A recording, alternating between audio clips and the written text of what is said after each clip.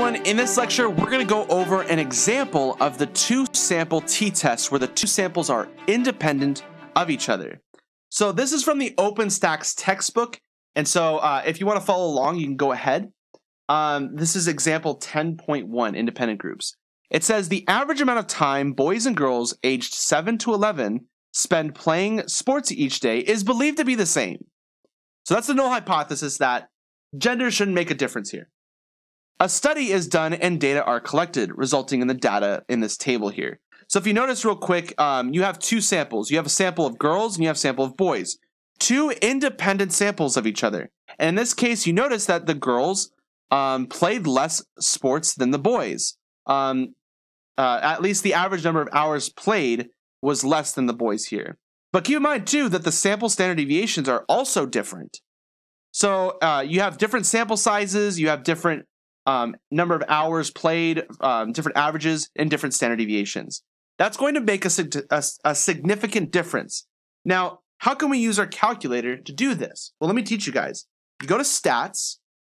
Uh, if you go to edit, you'll see the two lists, L1 and L2. The problem is, I don't know what my samples are because the only thing I know is the sample size, the average, and the standard deviation of each sample. Well, that's kind of annoying. However, if you go to stats and you go scroll over to the tests menu and you go to the two sample t test, you are going to see input as in data or stats. You, let's scroll over to stats. This allows you to input specifically the data from the samples, um, the statistics of the data that's necessary to do the uh, two sample t test rather than the data itself. So uh, it's going to ask for X1 bar, which is the average of your first sample, which in this case will say sample one is the girls, sample two is the boys. The first average is two. The first standard deviation is 0.866. And the size of that sample was nine. For the second one, the second average was 3.2. The second standard deviation was one. And the second sample size was 16. And then again, we're not going to pool and we're going to calculate this. Now I am getting, in this case, I'll write it over here.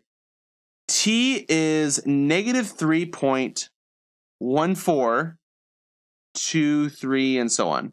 And I'm getting a p-value of 0.0054 and so on. And so, should we claim that these two, uh, that um, gender makes a difference on this? And the answer is yes, because my p value is less than most alpha values that we would expect. Alpha is typically 0.05. This p value is very, very small relative to 0.05. It's less than 0.05. And so for that reason, we should reject this null hypothesis, null hypothesis that we see here that the average amount of time boys and girls aged 7 to 11 spend playing sports each day is believed to be the same. Well, they're not the same. Because I just showed you. P value is less than 0.05 right there. So, for that reason, we can say that gender plays a difference. Now, if you notice, this was an example that didn't involve an experiment, and that can be the case. Um, but you still have two independent samples. The way you pick them are independent of uh, what you picked be, um, uh, with the other sample. So you just pick a random, uh, simple random sample for the boys, simple random sample for the girls, and then you conduct this um, this experiment, this test. Anyways, thank you guys so much, and I'll see you in the next lecture.